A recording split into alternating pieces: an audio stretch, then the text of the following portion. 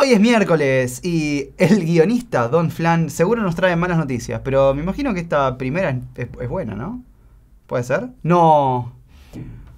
¿Por qué te tenés que reír así? Con los WH-1000XM5, Sony elevó las prestaciones y el precio de sus auriculares más populares. Sennheiser, sintiendo la sangre en el agua, se estaría preparando para aprovechar el espacio que dejó el titán Nippon. ¿Ya, lo dejaron? ¿Ya está? O sea, dejaron un, vacío. Y lo dejaron, si pusieron los XM5 más caros que los XM4. Los nuevos Momentum 4 Wireless dejarían atrás el clásico diseño con componentes metálicos por uno un tanto más genérico. ¿Es verdad? Che, cambió bastante. Encima es como que era re icónico el diseño de los Momentum. Era icónico, pero ya estaba viejo. Afortunadamente el diseño no es lo único que el gigante alemán estaría cambiando. La batería pasa de 16 a 60 horas. 60 horas es una, es. Es lo que vengo pidiendo hace un montón. Póngale mucha más. Y bajaría su precio de 400 a 350 dólares. No puedo creer que es una buena noticia. Sony baja, le dejó el lugar vacío acá, que están los XM4 que son buenos, pero de repente llega Sennheiser con unos auriculares nuevos con más batería hay que ver que tenga todos los... Trae micro USB. Claro, o capaz que Jack de 1,5 milímetros propietario. Pero si no, los XM4 que no fueron actualizados de repente tienen competencia interesante. Voy a escribirle una vez más a Sennheiser, con quienes intentamos charlar un montonazo de veces y que, bueno, claramente nunca pudimos. Continuamos después de la intro. Bueno, Google se estarían terminando los tiempos de las vacas gordas para Google. Y según reporta CNBC, Sundar Pichai, menos mal que le pegamos al CEO esta vez. ¿Sabes qué? Nunca, nunca, siempre me olvido la, los cosas de los yankees. Tenés CNBC, SNBC, NBC. Hay como tres. Es como, es como intentar seguir los Fox. Fox News o claro, pero esto son todos separados. Bueno, pero pensá que ellos manejan las radios con. Eh, MXCP, KXP, es una radio. La única que vale la pena es Flash FM. Bueno, Sundar Pichai convocó a una reunión extraordinaria para dar a entender que considera que la firma debería comenzar a enfocarse un poco más no me digas. Rápidamente aclaró que de momento no están planeando despidos, pero, pero que busca un Google más eficiente. Y citando, hay preocupaciones reales de que nuestra productividad como entero no está donde necesitaría estar para la cantidad de gente que tenemos. Añadiendo que busca crear una cultura más enfocada en la misión de la firma, en los productos y en los consumidores. ¿Vos decís, Sundar? O sea, ojalá, ojalá.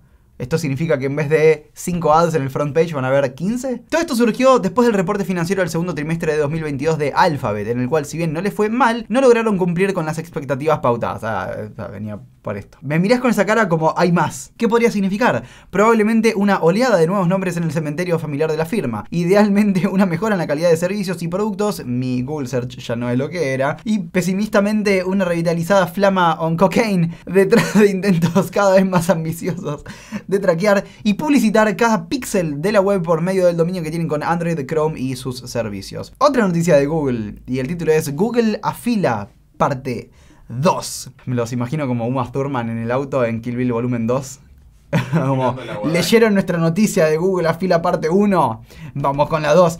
Pero no todas las noticias de Mountain View son malas, ¿vos decís? El gigante de la publicidad puso nuevas reglas sobre los tipos y formas de anuncios que los desarrolladores pueden incorporar en sus aplicaciones. Estas nuevas normativas buscarían restringir la capacidad de los desarrolladores de incluir anuncios que se muestren de forma inesperada para los usuarios. Efectivamente, prohibiendo publicidades en pantalla completa que no sean cancelables luego de 15 segundos o que estén al principio o a la mitad de sesiones en juegos o videos intersticiales que aparezcan antes de que una app cargue. Todos estos cambios se harán efectivos a partir del 30 de septiembre de este año, o sea, ya, y la firma otorgará hasta 30 días de gracia para los desarrolladores que estén en infracción. Pero que esto sea el principio del fin de esas crucecitas minúsculas o las crucecitas que están puestas en el lugar en realidad en donde no es una cruz que forma parte de la cosa que tenés que tocar para poder sacar el lado, sino que es simplemente un gráfico de la cosa y que te lleva al Play Store. No sé si fueron específicos con respecto a eso, que estaría genial que pongan en las reglas. La cruz no puede ser menor a este tamaño de puntos y tiene que estar siempre en esta ubicación. Pero eso tiene una Es que para mí eso tendría que venir del lado de ellos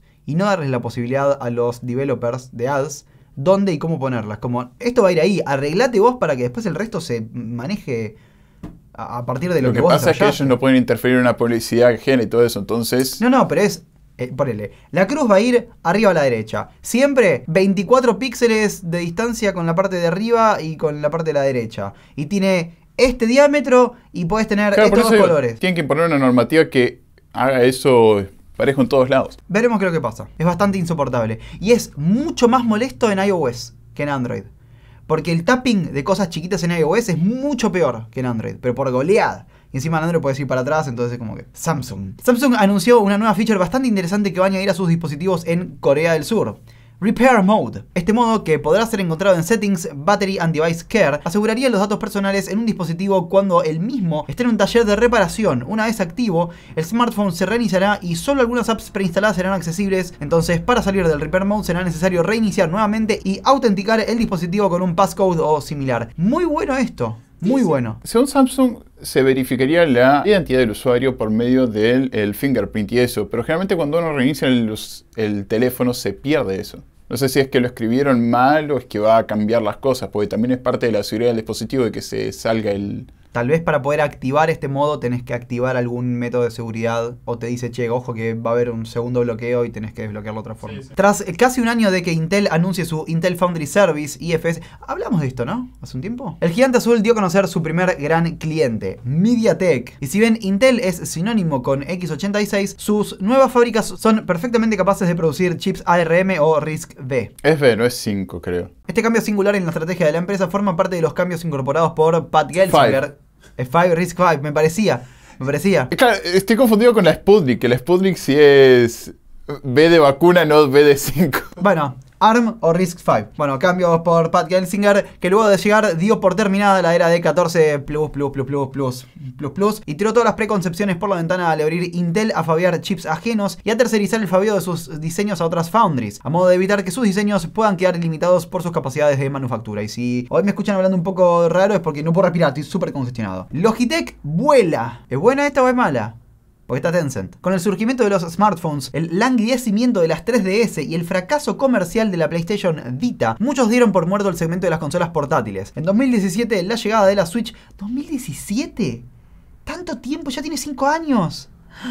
La llegada de la Switch revitalizó el segmento al punto de inspirar una nueva oleada de dispositivos cada vez más interesantes, desde joyas de bolsillo como la Playdate y la Analog Pocket. ¿Esa la, vimos? ¿Qué es la que es como un Game Boy? A microcomputadoras de mano como la, obviamente, Steam Deck o la GPD Win. Ahora, otro jugador aún más inesperado se sumaría. Logitech. El gigante de los periféricos anunció que unió fuerzas con Tencent para lanzar un nuevo handheld orientado al cloud gaming que se estrenaría más tarde este año. Ambas estarían trabajando con Microsoft y Nvidia para asegurar el acceso a juegos AAA desde el dispositivo. O sea, ¿están trabajando con Nvidia por una cuestión de cloud o porque el chip que lleva adentro es Nvidia? Espero que sea el... ¿Cómo se llama el chip que anunció Qualcomm este año? El Qualcomm G3X que era el orientado al gaming. Espero que sea ese, porque eso significa que aunque sea puedes agarrar e instalar eh, RetroArch o algo por el estilo y utilizarlo para jugar juegos. Pues si es nada más juegos en la nube. Tengo un problema con el uso del español cuando hay que decir play games. O sea,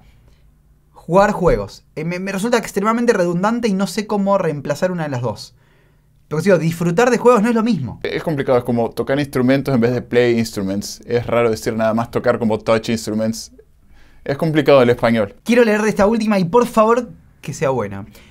No quiero desacostumbrarlos a las malas noticias, dice el guionista, pero hay que cubrir esto. Valve anunció hace un par de días que finalmente se están dando las cosas y que lograron, ah, ya sé lo que es, y que lograron destrabar varios cuellos de botella que estaban ralentizando la producción de la Steam Deck. Según el comunicado, esto les permitió no solo garantizar que van a cumplir con las reservas, sino que hasta van a adelantar los plazos de entrega. Aquellos que hayan sido asignados al Q4 recibirán sus dispositivos durante lo que queda del Q3, y los que hayan sido asignados al Q1 de 2023 recibirán sus dispositivos en Q4 de este año. Lo cual está buenísimo si es que están en uno de los muy, muy pocos lugares en donde se puede intentar pedir una Steam Deck. Por lo pronto nosotros seguimos mirándola por TV.